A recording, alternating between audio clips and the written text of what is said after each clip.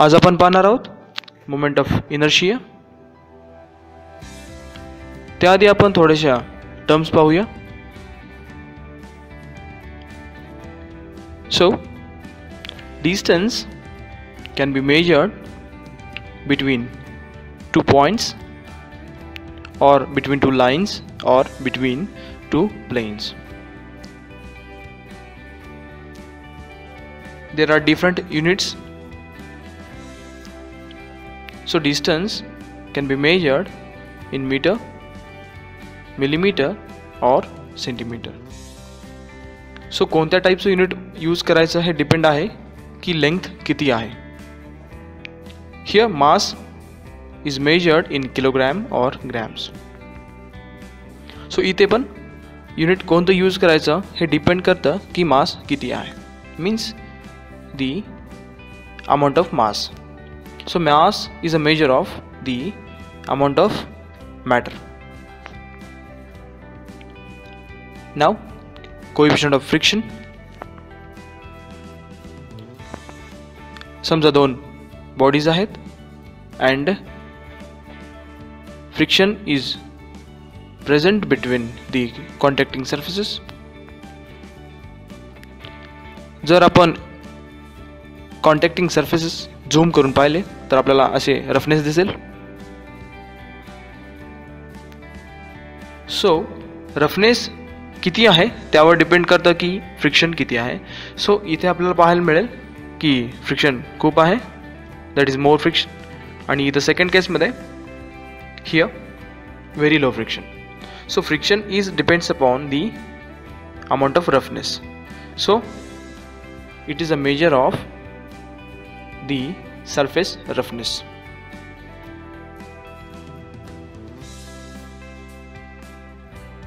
coefficient of friction is denoted by mu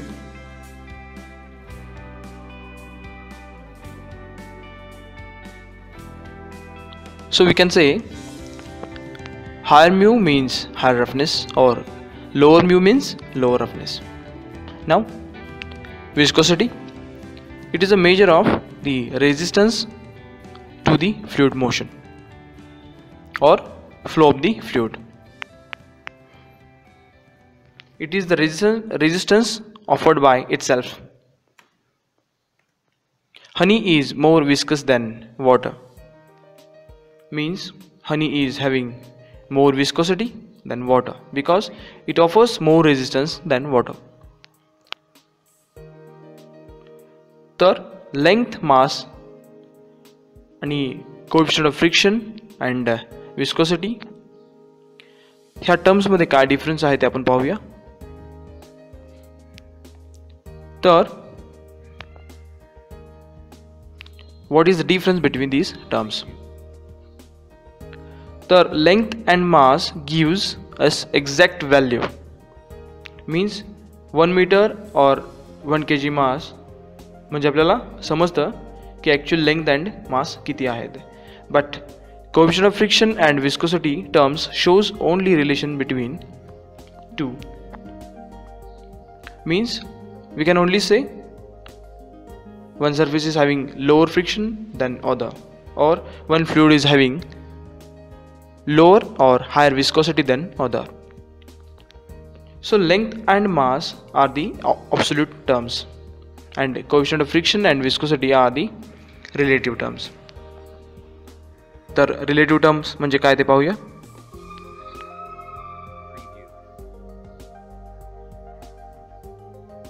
Value of these terms shows relation between any two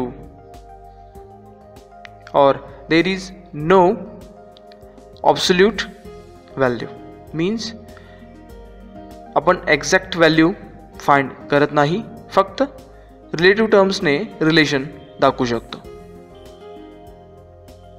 Means we can say only the terms are higher or lower than the other. So ह्याचा वापर आपणाला moment of inertia म्हणजे काय हे समजण्यासाठी होईल. तर moment of inertia is also a relative term means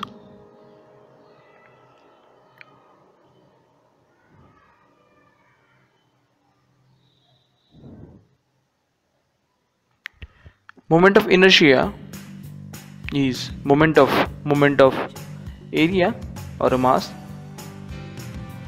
or it is a second moment of area or mass so there are two different types of moment of inertia that is for area it is the area moment of inertia and for mass if we consider mass of the body then it is a mass moment of inertia mass moment of inertia calculate करण्यासाठी आपण mass consider करतो and area moment of inertia find करण्यासाठी आपण area consider करतो so moment of inertia is a product of area or mass and perpendicular distance square between CG and the reference axis ज्या reference axis भोवती आपणाला moment of inertia find करायचा आहे तो axis so for area moment of inertia is area into distance that is h square and for mass it is a mass into h square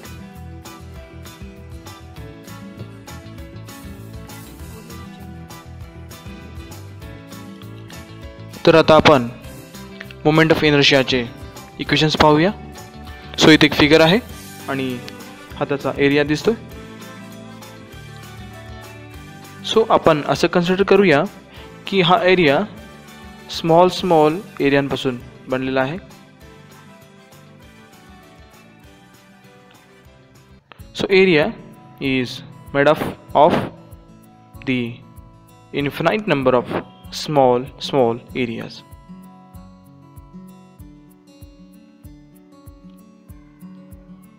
इथे आपण area खूप लहान consider करतो cause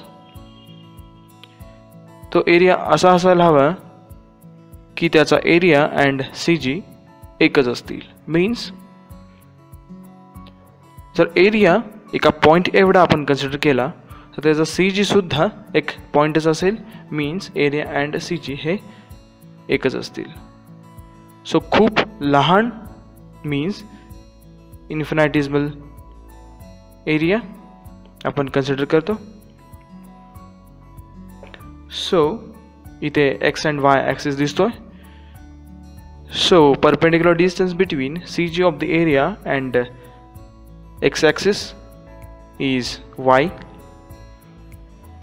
इथे different areas आहेत A one A two A three and त्याचे distances आहेत Y one Y two and Y three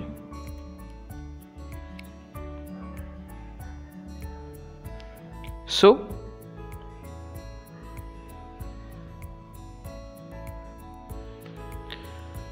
So, moment of inertia about x-axis is nothing but the summation of all the areas and their perpendicular distance between CG and reference axis. So here it is equal to a1 y1 square plus a2 y2 square plus a3 y3 square plus an yn square.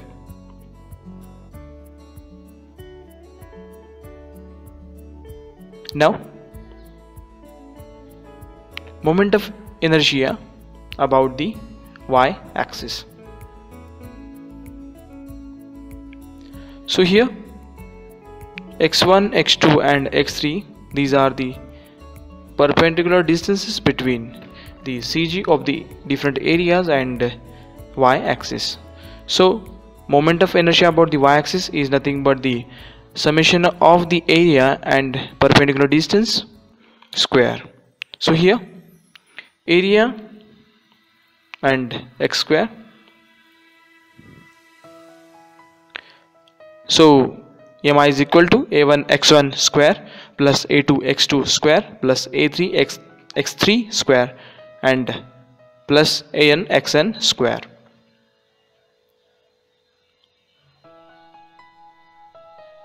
So these are the moment of inertia about the x and y axis.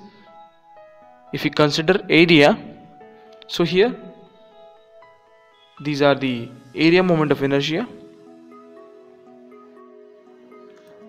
now mass moment of inertia find करण्यासाठी आपल्याला mass consider करावा लागेल so moment of inertia about the x-axis is equal to the summation of mass into y square so equal to m1 y1 square plus m2 y2 square plus m3 y3 square plus mn yn square. Similarly moment of inertia about the y-axis is equal to summation of mass of the all the elemental areas into their perpendicular distance. So this is equal to m1 x1 square plus m2 x2 square plus m3 x3 square plus mn xn square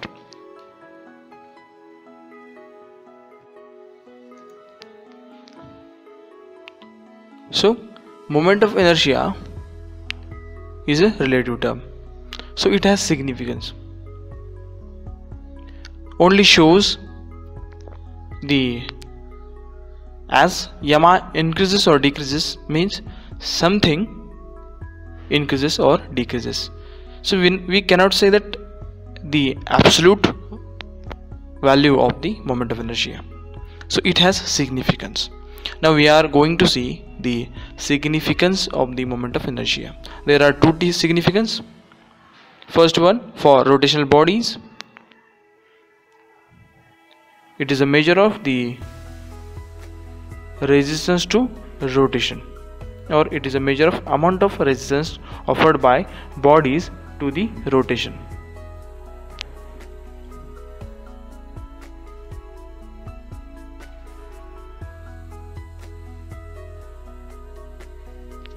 for rotational bodies.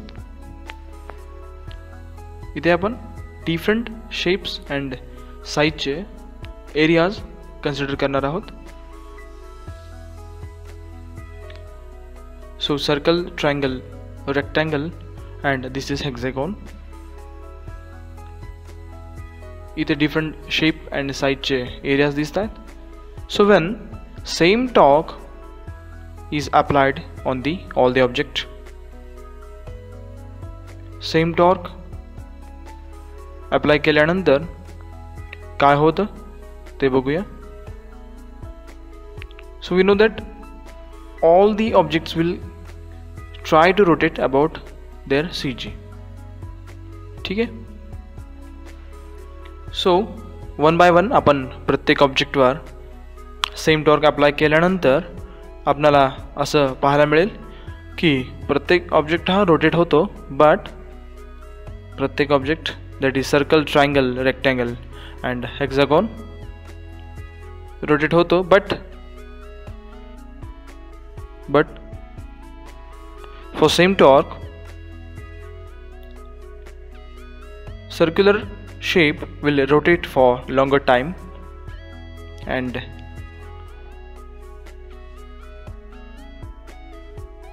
hexagonal object will rotate for very less time. So आपल्याला असं पाहायला मिळेल.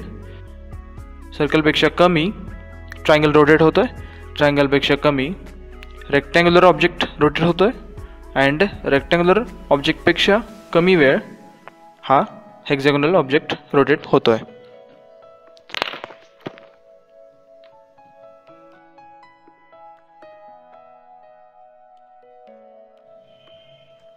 सो आपण अशा प्रकारे लिहू शकतो किंवा कंपेअर करू शकतो.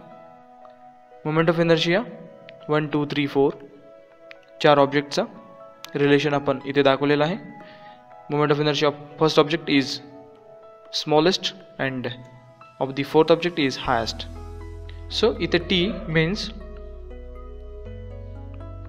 किती वेळ ऑब्जेक्ट रोटेट होतो तो आहे.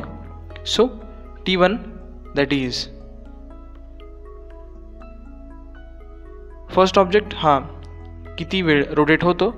तो T one and fourth object किती वेळ रोटेट होतो? तो टी फोर सो आपण असं दाखवू शकतो की T one is highest and T four is the lowest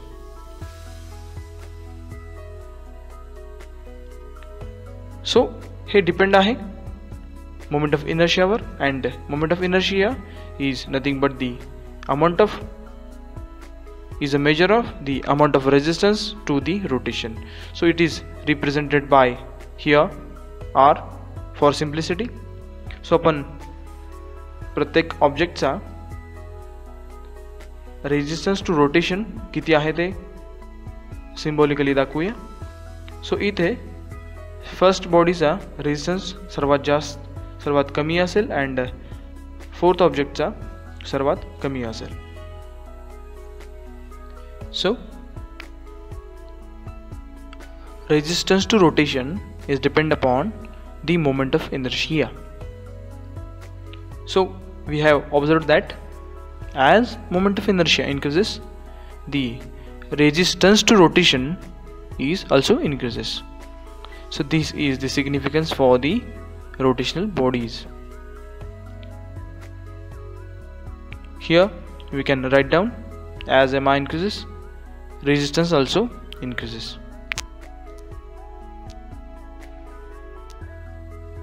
Now for static bodies it is a measure of the resistance to bending due to bending load and also it is a measure of the stiffness.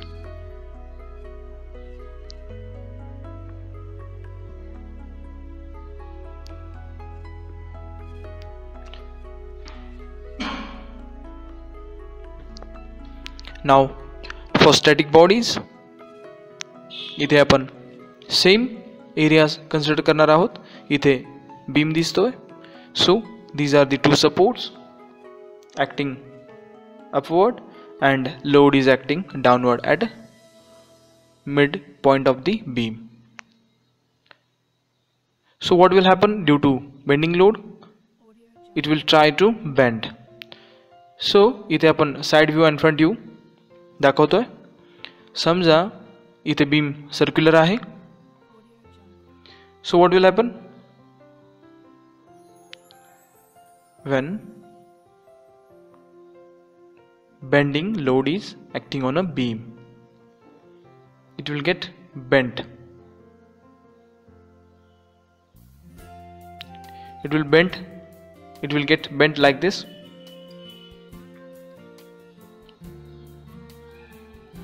so इथे front view आणि side view दाखवत आहे समजा इथे circular object होता आता triangular object आहे. Means बीमचा फ्रंट व्ह्यू पाहिला तर तो ट्रँग्युलर आकाराचा दिसेल. समजा थर्ड केसमध्ये तो रेक्टँग्युलर शेपमध्ये आहे. अँड फोर्थ केसमध्ये तो हेक्झॅगोनल शेपमध्ये आहे. मीन्स तुम्ही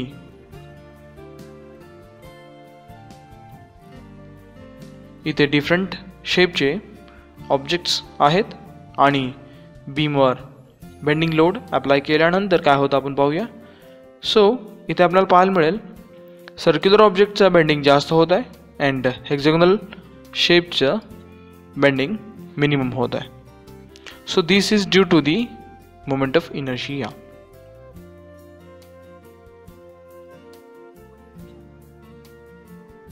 जर आपण मोमेंट ऑफ इनर्शिया फाइंड केलं तर आपल्याला पाहायला मिळेल की मोमेंट ऑफ़ इनर्शिया प्रत्येक ऑब्जेक्टचा डिफरंट आहे. आणि moment of inertia of the circle is minimum moment of inertia of a hexagon will be maximum. So आपण अशा प्रकारे दाखवू शकतो की मोमेंट ऑफ़ इनर्शिया हा object one two four increase होत जातो आहे अँड बेंडिंग हे बीने दाखवूया सो amount of bending decreases from one two four that object वनचं bending max असेल and object फोरचं bending moment hey minimum असेल then resistance to bending is represented by R here only upon so as moment of inertia of the first object is minimum resistance offered by the first object is also minimum and resistance offered by each object increases from 1 to 4 सो इथे आपण असं लिहू शकतो की so as mi increases bending that is amount of bending decreases that is deflection decreases means the resistance to bending increases so इथे आपण पाहिलं moment of इनर्शियाचे दोन सिग्निफिकन्स आहेत एक for rotational bodies and second for static bodies इथे for rotational bodies moment of inertia is a measure of the amount of resistance to the rotation and for static bodies it is the measure of the amount of resistance to the bending